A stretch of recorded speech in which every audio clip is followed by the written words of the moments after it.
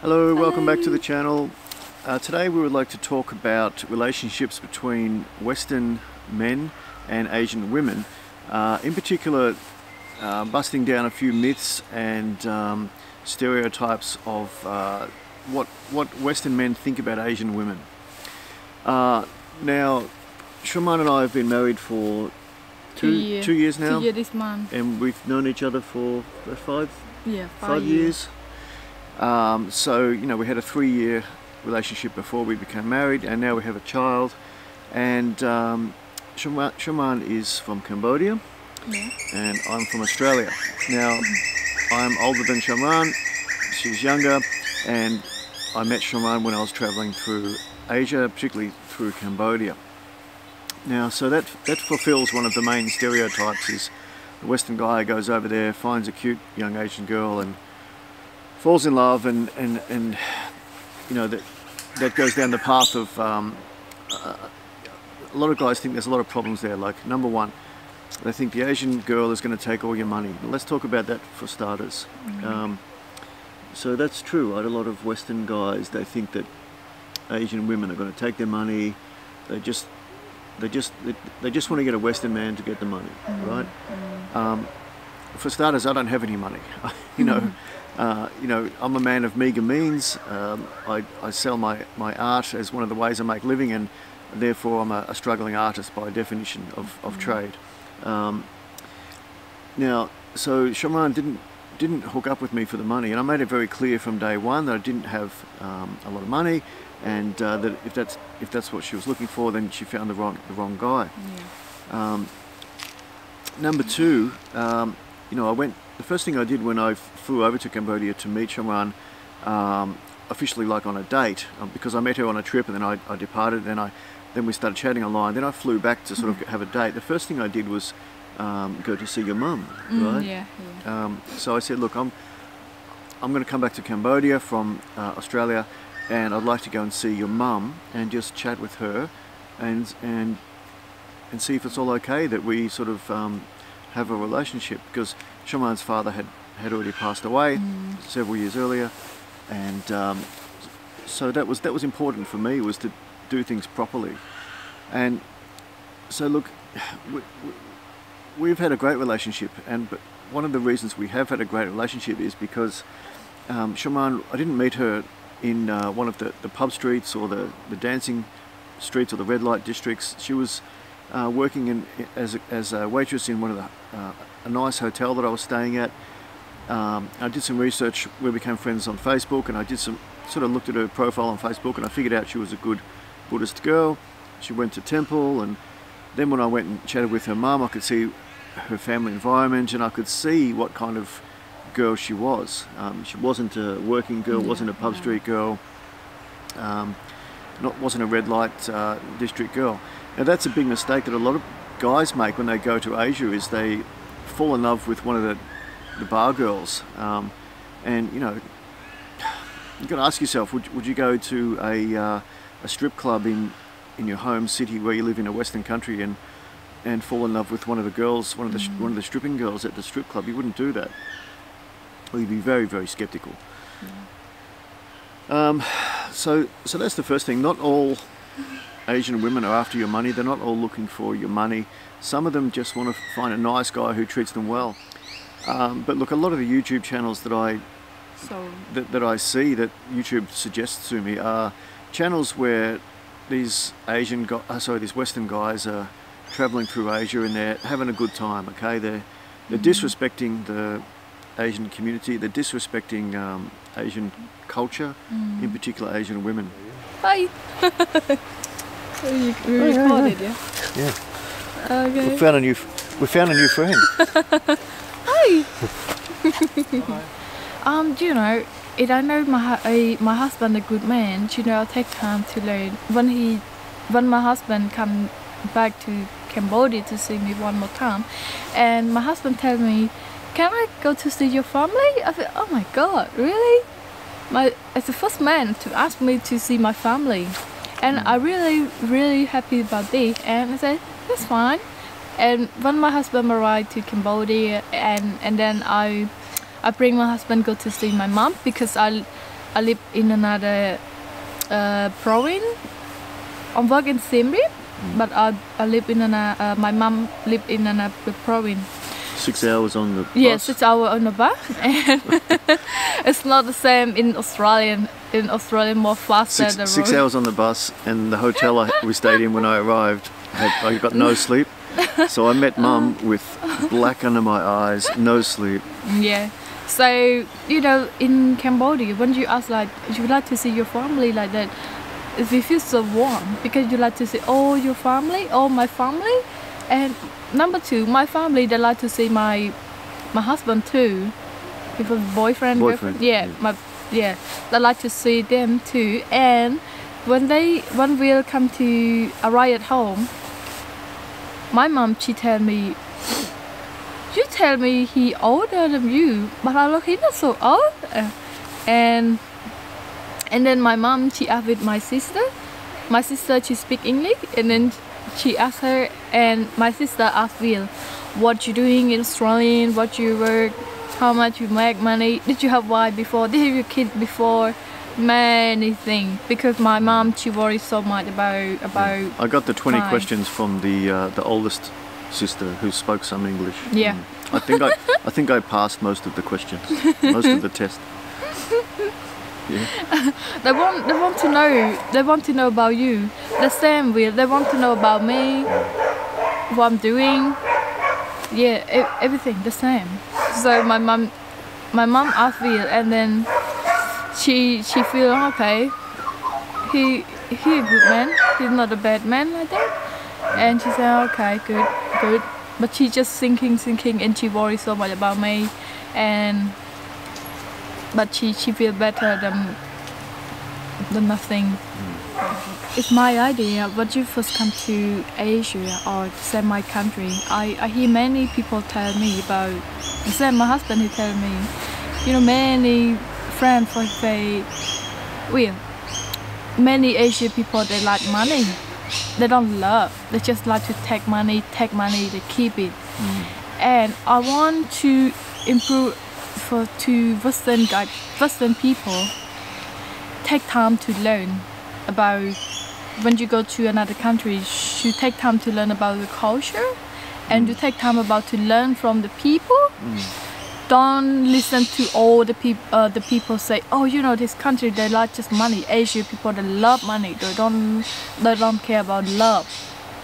It's not like that. Mm. Maybe you found two three people like this but then you say every asian people like it. It's not. Mm. And you you can take time learning learn to together. Learn from people the culture from asian people like mine. I came from cambodia. So my husband he take time long time to learn about me. I take time long time to learn about my husband.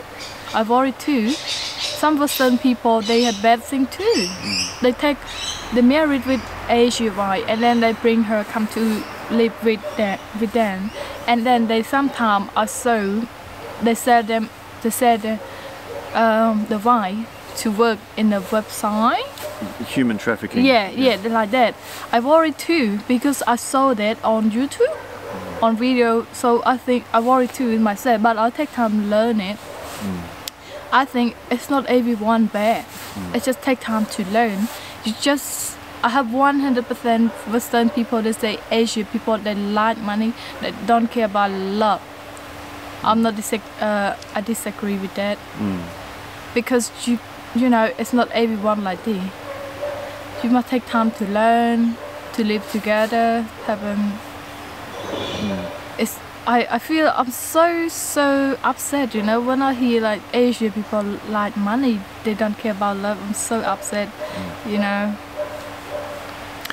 And the other thing that I wanted to say, which is really upsets me, is the way that um, a lot of Western guys they go to Asia and they disrespect the culture. Now, I've seen this time and time again, and all you have to do is um, you, you see it like uh, I'll give you a couple of examples. Um, you know, Western guys just sitting in a sitting in the pub street with their tattoos all showing and a, and a singlet on, and they're on holiday, but and you- you're showing your tattoos and you're getting drunk. I mean, for starters, part of the Buddhist um, philosophy is you never never get drunk in public. I mean, that's it, it, it's really frowned upon. So when you're sitting there as a Western guy getting drunk on cheap beers and then falling on the floor in the in the main street, that's the, the, the locals are really looking looking on you as a stupid Western tourist. Okay, Yeah. you really need to understand that that's it's not on. Um, you can get drunk in your hotel, uh, by the pool or whatever you want to do,